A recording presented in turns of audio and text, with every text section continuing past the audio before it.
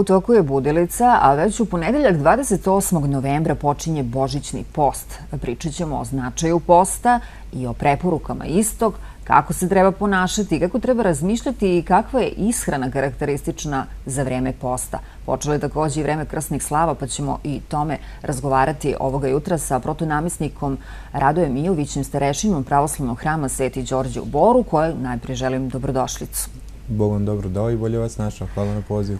Pa evo, e, gospodine Mijoviću, kreće post od ponedeljka 28. novembra, ali ja generalno mislim da ako želimo da se hranimo zdravo, ne trebamo samo da gledamo neke datume da bismo postili, je li tako? Tako je. E, kako kažu sveti oci, post je božanska ustanova. I kada otvorimo tamo knjigu Svetoga pisma Staroga zavjeta, na prvim stranicama ćemo naći tamo zapovijest Adamu, jedi od svega što je u ovome vrtu, samo sa drveta poznanja, drveta života, dobro i zla, to nemoj da diraš. Sveti oci kažu da je to prva zapovijest o postu. Da je to prva zapovijest o postu i kažu da je još Adam na taj način se uzdržavao. Mm -hmm. Uzdržavao se da se ne bi ogriješio o tu Božju zapovijest. Kako je kasnije teklo vrijeme, čitamo tamo u starom zavjetu, da je izabrani narod Boži postio, osobito tako kad su bili neki, da kažemo, veliki praznici, neke velike svečanosti, post je u svim religijama i u svim kulturama na ovaj ili na onaj način izražen.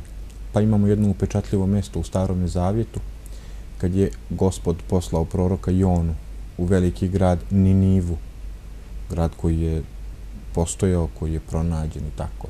Nije nešto abstraktno da propovijeda ni nevljanima, Oni su se pokajali za svoje zlodjela koja su učinili, posuli su glavu pepelom, kako piše u Svetome pismu, obukli se u kostrijet i postili su i Bog ih je sačuvao.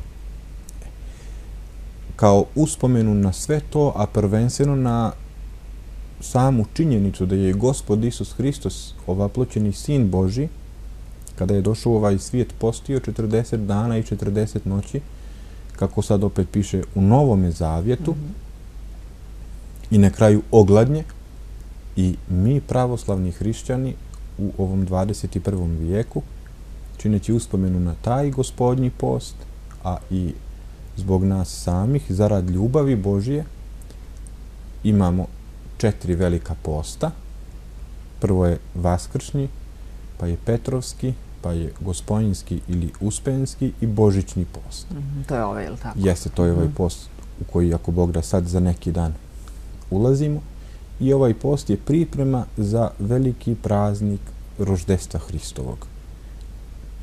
Post je crkva ustanovila da bismo se na pravi način, trudeći se oko sebe i oko svoga spasenja, oko svojih bližnjih, pripremili za dolazak Bogomladenca. Evo kad ste malo čas rekli o davnima se posti, dobro, tada je možda bila malo i drugačija situacija što se tiče ishrane, ljudi nisu bili ni bogati kao sada da bi imali e, sredstava da čuvaju životinje, ali tako, pa se iz neke strane ne samo i verske, nego i finansijske gledalo da se jede i zdravije, nisu postojali ni ovi raskladni uređe, ali tako? Moralo da se vodi računa malo više o ishrani. Zdravije su se hranili nego sada mi što se hranimo generalno gledano, a primećujete vi složit ćete se sa mnom da se sad nekako svi vraćamo unazad i svi se vraćamo nekim drevnim vrednostima i vraćamo se to i nekoj ishrani koja se nekada nazivala organska, ili tako? Jeste. To je veoma zanimljivo kad pogledamo ove naše bližnje, naše bake i deke, pogotovo oni koji su rođeni početkom 20. vijeka. Većina njih je, to su zdravi ljudi, nemaju nikakve bolesti, dugovječni su, što bismo rekli, lijepo izgledaju i tako. E, to je sve vezano za, vezano je i za to što vi rekoste za uzimanje zdrave ishrane. Ali nekako imam osjećaj da je nekako i priroda bila zdravija. Tako je, sve. Da su ljudi više vodili računa mm -hmm. o tvorevini Božoj, da su se ljudi više trudili da ono što su oni naslijedili i ono što su oni dobili da to u što boljem stanju predaju generacijama jeste koje dolaze posle njih. Ali nisam baš siguran da mi to danas tako radimo. Pa nažalost, Mi sve prirodne resurse koje imamo do maksimuma iskorišćavamo, do maksimuma trošimo i sve i ne znam ka, na šta će to da izađe. Mi nekako živimo od danas do sutra. Nažalost. Jeste, i od danas do sutra i živimo samo za danas. Jeste, da. Jeste, da, kao ajde danas šta bude, danas, bude. Jeste, da. Međutim, uh, vjera naša hrišćanska mm -hmm. i vjera naša pravoslavna, a i čitavo bogosluženje, pravoslavne crkve koje mora da bude i koje treba da bude i koje jeste, sastavni dio svakoga pravoslavnog hrišćanina nam govori da baš i nije tako da mi ljudi nijesmo stvoreni samo za danas i samo za juče i samo za sjutra, nego smo stvoreni za vječnost. Stvoreni smo da i onog momenta kada, opet kako kažu sveti oci, kako kaže sveto pismo i sveto predanje pravoslavno hrišćansko, da smo mi ovdje, što bismo rekli, privremeno. Da je naša prava svetu, otečbina, jeste, na ovdje, ovdje na ovom svijetu, mm -hmm. da je mhm. naša prava otečbina carstvo nebesko. I to zaista nijesu neke prazne priče. To je zaista jedna realnost. Evo, danas upravo proslavljamo svetoga kralja Stefana Dečanskog. On je bio sin kralja Milutina, a otac cara Dušana Silnog. I on je mnoge nepravde u svome životu pretrpio, bio je u zarobljeništvu, bio je oslijepljen, bio je mučen, je bio ponižavan i tako. I evo danas na Kosovu i Metohiji u manastiru Dečanima njegovo tijelo netruležno a on se upokojio sredinom 14. vijeka. E, to je ono u šta mi vjerujemo. Da je naš Bog, Bog živih. Da je naša vjera, vjera svetih.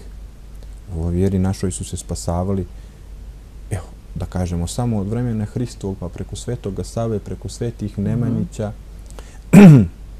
preko svih svetih iz roda našeg, evo, do današnjih dana, do svetog Justina Ćelijskog, do vladike Nikolaja, živi su ljudi i dan danas koji su odlazili kod, koji su poznavali oca Justina i koji su poznavali evo i njegove učenike, koji su poznavali sve te ljude. Znači, Bog u svakom vremenu dijela, Bog u svakom vremenu šalje svoje izabrane u ovaj svijet da budu kao neko svjetlo u tami. To treba da nam bude jedan putokaz. Ako su mogli svi oni mm -hmm. da se saobraze Hristu, da a, ga toliko zavole, da ga toliko ljube, da im toliko ne bude ništa teško da učine za bližnje i za Hrista, pa što ne bismo mi jednim svojim najmanjim, najmanjim dijelom podržavali njima. Evo upravo na nailazi post koji nam daje tu mogućnost da se okrenemo jedni drugima, da se okrenemo svojim bližnjima. Znate, to sad danas kažu ljudi ja, jako je lako postiti. Ima dosta ljudi koji ne jedu ništa što ima mesne prerađevine, mm -hmm. ništa, ništa životinsko, ništa tako zbog zdravlja, zbog lepote, zbog ne znam nija iz raznih svojih ubjeđenja. Međutim, to se ne može nazvati post. To nije post. To su razne dijete. Da, tako. Svaki takav post koji je odvojen od crkve, mm -hmm. od crkve kao zajednice, kao zajednice koja se sakuplja nedeljom i praznikom oko svete čaše u svetoj liturgiji koja se pričešćuje, je promašen post. I zato se takve stvari ne nazivaju postovima, nego to su dijete ili to su tako neke vrste uzdržanja. zarad ovog, ishrane, da. da. zarad uh mhm. -huh. ovog ili zarad, zarad onog. Ne jedemo kuvano, ne jedemo organsku hranu, jedemo kako, ne znam, nije sad, sa, sa šta tamo ima. Međutim, to nije post. E, post, tjelesni post, uh mhm. -huh. neuzimanje mesa, sira, jaja, ne znam, nija, ako hoćete i slatkog i alkohola i ne znam nija, mora da podrazumijeva i mora da ga prati naš svakodnevni život.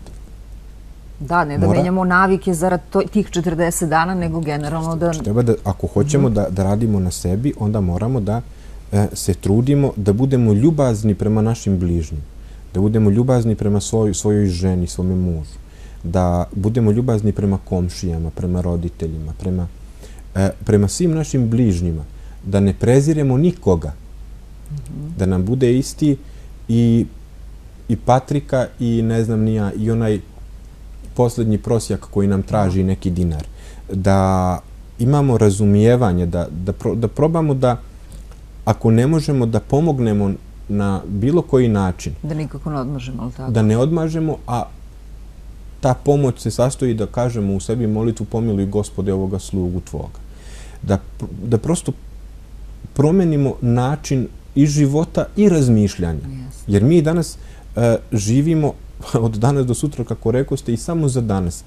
I važno je da je samo meni dobro. Da, sebični smo postali Jeste. možda već. E, postali smo ozbiljno sebični. Ozbiljno sebični. I onda se čudimo otkud tolika zla po svijetu, otkud tolike nevolje, otkud toliko mržnje, otkud ratovi, otkud... I onda kao, Bože, zašto to dopuštaš? Pa da, nema Bog veze se, sa tim. Da, setimo se Boga tek kad Jeste. napravimo Ali nešto. nema Bog veze sa tim. Bog nema veze sa tim. Znači, Bog nam je dao, Bog je čovjeka odlikovao najvećim darom, a to je dar slobode. To je dar slobodne volje. To je sloboda izbora. Mhm. Hoću li da budem dobar ili ću da budem loš.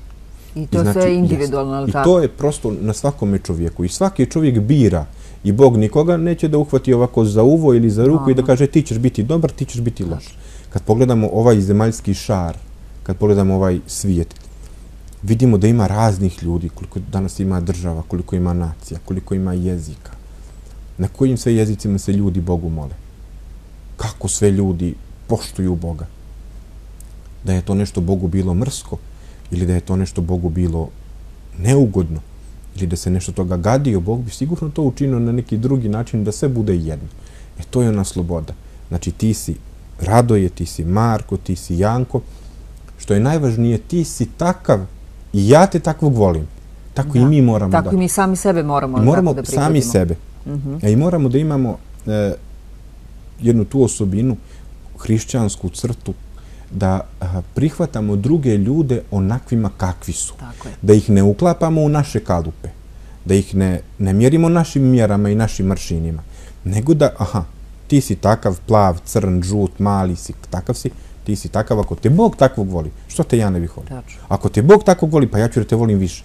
Jer i Bog mene Voli voli i Bog prima jesam, mene i zna sve moje slabosti i sve moje grehove i sve moje padove i sve moje posrnuća, pa sam evo tu. E, o tome bismo trebali da razmišljamo u ovome postu. Ne samo u ovome, nego u svim postovima. Znači, ne samo fizički da se očistimo, nego i duhovno. Fizički može svako da se očisti. To prosto 10 dana, 15, pa znam ljude koji, ne znam, nija po dve, tri nedelje popiju samo po malo vode, ništa im ne fali, očiste se, izliječe se i tako. Međutim, to je sve van crkve, van, van zajednice. I to je možda na neku privremenu korist. Lepo, lepo će ljudi da se osjećaju, fino će da izgledaju, a, neće imati bubuljice, neće tako. imati, da. E, a ajde malo, znači, da razmišljamo na jedan drugačiji način. Evo sad vrijeme posta, ajde malo da, kao što sređujemo kuću, kao što metemo kuću, kao što usisavamo i skidamo paučinu. Ajde tako da kroz naše živote, da un, prvo prvenstveno naš um i naše srce očistimo od ogovaranja, od osuđivanja, od laži, od ljubomore, da. od svega onoga što je neprirodno čovjeku. Ajde da budemo, kako je govorio patrijarh Pavle, da budemo Ljudi. ljudi. Jeste, da budemo ljudi. A to uopšte nije teško. To uopšte nije teško. To je jako prosto. Samo ako hoćemo. Zbog toga je važna crkva kao zajednica. Zbog toga su važne sve te tajne koje nam crkva nudi kao neke medikamente i kao neke putokaze u ovom savremenom brzom životu, kad se i vrijeme ubrzalo, kad ne znamo gdje ćemo prije i ne možemo ništa ništa da stignemo, treba da znamo da je crkva uvijek tu i da ulazeći u post dođemo u sveti hran. Pa da se javimo svešteniku. Oče, dajde da porazgovaramo malo, ajde da se ispovedim, pa nisam baš ovo dobro ovako, nisam dobro onako. Ima, svako od nas ima nešto u svome srcu i u svome umu što je protivno njegovoj savjesti. Jeste. E, Ajde da se toga oslobodimo, da to uzmemo, da izbrišemo to kao gumicom, kao kad skupljamo paučuni, kao što rekao, kao što sređujemo kuću, da sredimo malo svoj um, da sredimo malo svoje srce, da se malo saberemo, da vidimo, aha, gdje smo, šta smo, šta radimo, jesmo li na pravom putu, jurim za novcem, jurim za poslom, e, trčim tamo, trčim ovamo, šta trčim, dana, gdje trčim, da. stižem li nešto, šta sam uspio da, Tačno. jesam li, jesam li produžio svoj život, hoću li time što jurim, hoću li produžiti svoj život, hoću li time produžiti život svoje dece, Pa ne, naravno. Pa, ne naravno. E, tu smo negdje gdje promašujemo cilj. Tu smo negdje gdje se baš i nismo sabrali kako treba. E, post je vrijeme, što se kaže, da stanemo čvrsto na zemlju sa obje noge. E, da vidimo da se oknemo lijevo i desno pa da vidimo, aha, dobro. Jurio sam, trčao sam, ajde sad malo da se saberem, ajde sad malo da se preispitam, ajde sad malo da pođem, da vidim, da porazgovaram, da malo vidimo gdje smo, što smo. U krajnjem slučaju, da se oslobodim jedne ružne navike u ovom postu, da se oslobodim ogovaranja ili osuđivanja ili pričanja ili laži. Zavisti. Ili zavisti. Eto, uh -huh. što ja kažem, e, svako u postu, na početku svakog posta treba sebi da postavi za cilj da se oslobodi jedne ružne navike. Ako to uspije, on je taj post, što se kaže, izgurao sa velikim plusom, uspeo je i ide dalje. I tako od posta do posta, iz dana u dan treba da se trudimo, bez obzira hoćemo li jesti na ulju, hoćemo li jesti na vodi, mm -hmm. hoćemo li apsolutno postiti da ne jedemo ništa. Znate kako? Đavo niti jede, niti spava. Pa je opet đavo. Da. Pa je opet đavo. Da. Znači on, on je u totalnom postu. Niko tako ne može da posti kao on. Ali je opet satan, znači mm -hmm. protivnik Boži. Da ne budemo protivnici Boži. A, da budemo djeca Božja. sami sebi, ili tako? Pro, pro, kad smo protivnici da. sami sebi, onda smo i najdublji protivnici Jest. Jer kako da. kaže apostol Pavle, naša tijela su hramovi duha svetog. I pravoslavna crkva uči o spasenju i duše i tijela. Mi vjerujemo uopšte vaskrsenje. Ja pomenu svetog kralja Stefana Dečanskog, kojeg danas proslavljamo, njegove mošti, njegovo tijelo je čitavo i netruležno. Na desnoj ruci mu se vidi prsten. Osam vekova već, ali Jeste, pa imamo svetog Vasilija Ostruškog, imamo mnogo drugih svetitelja koji su prosijali u rodu našem. Imamo ovdje kod nas u Ravanica sveti kralj, sveti car Lazar. Mhm. Isto mu je tijelo netruležno, isto. To, je, to su svjedoci upravo ovoga o čemu ja govorim. Sveopšteg vaskrsenja, i svjedoci naše vjere pravoslavne. A i to su nam pokazatelji da ako su oni kao obični ljudi, koji su još i bili na velikim položajima, pazite, bili su kraljevi, bili su mhm, carevi, mhm. bili su najvažniji u državi, imali su ozbiljne odgovornosti, imali su ozbiljne funkcije. Ako su oni mogli da pobijede sebe i da se upodobe Hristu na tako velikim pozicijama, kako mi ne bismo mogli od naših porodica, da napravimo male crkve, da znamo da se pomolimo Bogu, da okadimo, da upalimo kandilo, da pored toga što učimo našu djecu da budu super džaci, da idu na takmičenje, da imaju sve petice, da budu, da razviju svoje poslove, da upišu, da upišu dobre škole, zašto da im ne kažemo, draga djecu, pogledajte i naše svetitelje, pogledajte kralje Stefana koga danas slavimo, cara Lazara, pogledajte, oni su svojim životom posvjedočili vjeru hrišćansku, vjeru pravoslavnu, pa ih je Bog proslavio. Da im pored svega ovo zemaljskog što našoj djeci, i ne samo mi kao roditelji se trudimo da im priuštimo, nego što i, i mediji, televizija, internet i sve, uh, sve, svi, e, svi mediji nas bombarduju time kako treba da produžimo život, kreme protiv bora, zdrava ishrana, sve se, ajde malo na duhovnom planu da se da, potrudimo. Da, duhovno da se očistimo. Jeste, jeste. Biće da nam se, lakše, verovatno. Ne da će nam biti lakše, nego ćemo prosto, kao kad čovjek učini neko dobro dijelo, posjeća pa tako u sebi lepše, neku bolje. satisfakciju, pa mu je da. drago, pa onako da. prosto. I ne mora to nikome da kaže. Tačno. Danas sam dao, ne znam, nija, ili danas sam ovo uradio, ili sam pomogao. Ne mora nikome da kaže uveče kad čovjek legne u krevet, pa kad razmišlja o danu koji je prošao, aha, vidiš, lijepo mi je zbog toga što yes. sam uradio. Lijepo mi je što sam neko, nekome nazvao dobar dan.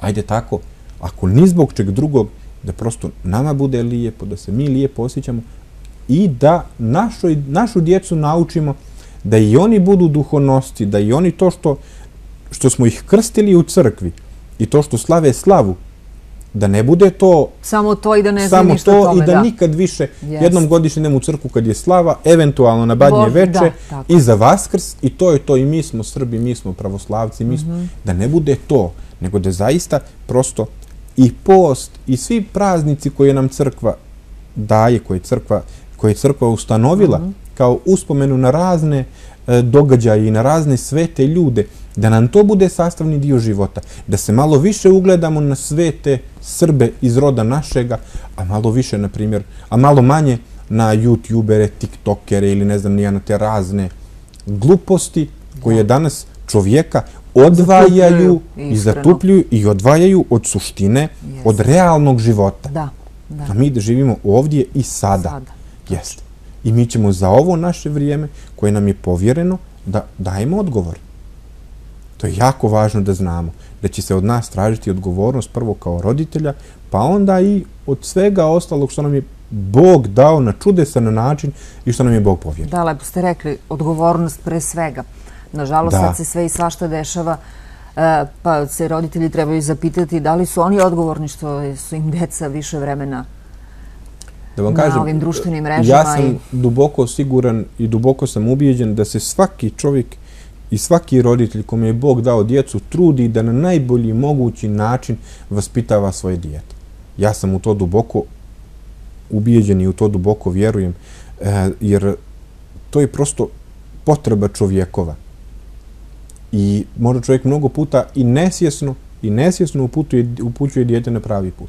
Međutim, ako se te porodične vrijednosti ne odnesu iz svoje kuće, ne može razredni starešina ili vaspitač da ili učitelj da. da vaspitava dijete koji je u školi 4, 5, 6 sati, a u kući je 15 ili 18 Tako sati. Je.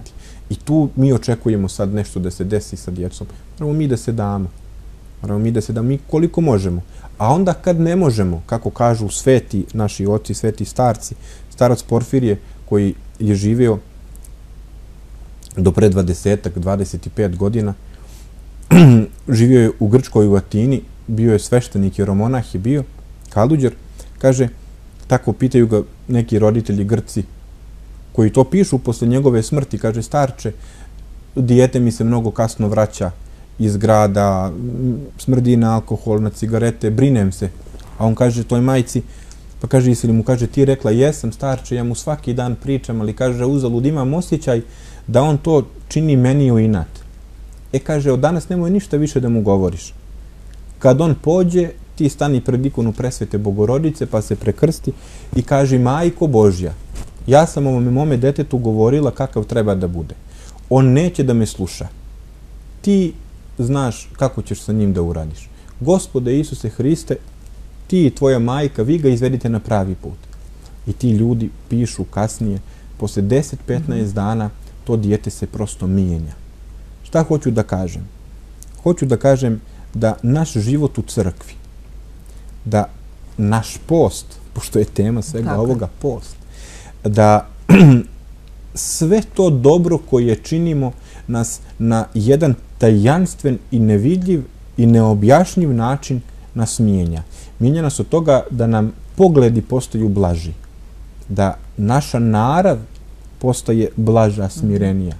Ako naša narav i ako prosto mi kao ljudi postajemo bolji, onda će i naša dijela da prate to kako se mi osjećamo iznutra. To je jako važno. Hvala vam puno, nažalost, malo vremena imamo, ali evo, dosta, dosta ste nam lepo objasnili sve i družimo se ponovo i nekom drugom prilikom, ne samo kad su postovi, vi ste ovdje vrlo rado viđeni gost. Hvala, vam još jednom. Hvala vam, da ste živi i zdravi. Tako. A, mi idemo brzo na ljude i događaje, a nakon toga gledamo najnovije izdanje vesti, pa se vraćamo u Budilicu da čujemo koje su to događaje obeležili današnji 24. novembra.